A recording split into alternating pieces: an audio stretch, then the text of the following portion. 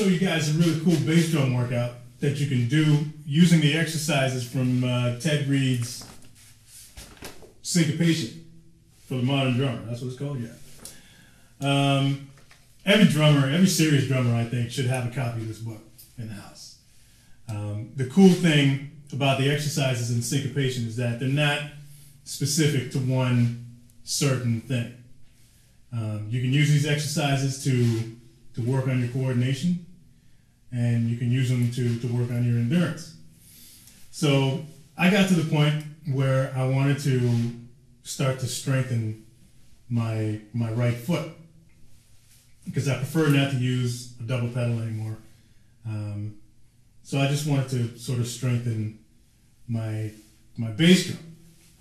So I was looking through the the syncopation book, and there's a couple of exercises that I already enjoyed doing. Um, but I decided to to take one of the exercises in the book, add a little something to it, turn it into a bass drum sort of workout kind of exercise kind of thing. So that's what we're going to do. And uh, I'll show you how I came about doing it, show you how to do it, and then hopefully it'll help you out in uh, getting that whole thing happening down there.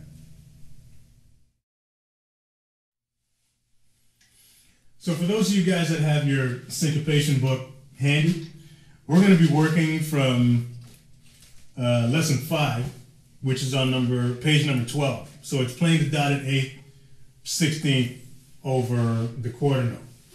Okay?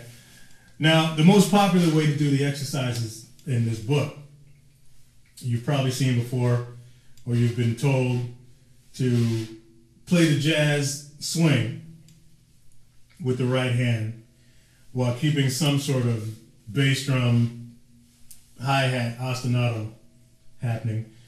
And then you're going to play the top line on the snare drum. Okay?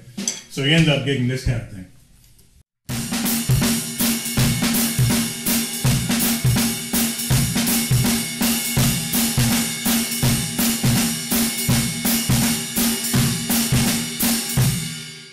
Okay? Which is cool.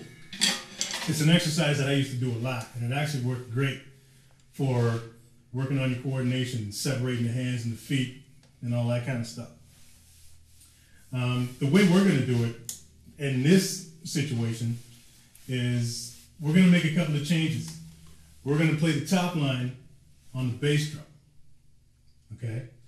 And uh, in order to make the, the exercise more interesting, um, or at least what I did to, to make it more interesting, is I changed the feel of it. So instead of playing just a straight quarter feel, we're going to do more of a two over three type of uh, type of feel. Okay. So with that, you end up with this kind of motion.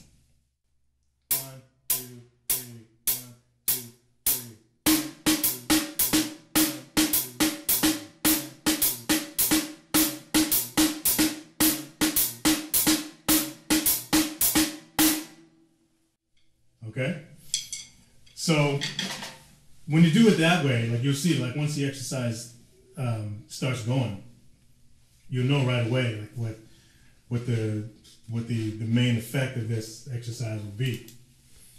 But uh, this way, like when you play it this way, it creates a really cool sort of uh, dotted eighth, sixteenth funk feel, and it actually sounds really cool.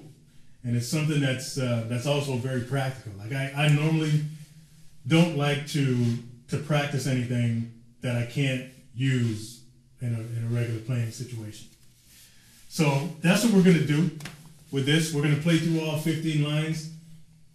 Um, for those of you guys that are following along with the book, by the time you get to around line 11 or 12, that's when you're really going to feel it in the uh, in the old foot down there. So let's get into it. I'll show you what it looks like, and hopefully, for those that are uh, looking to get their right foot in shape, hopefully this this exercise will, will help you out with that.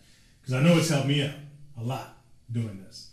So uh, let's get into it, and uh, I'll show you what it looks like.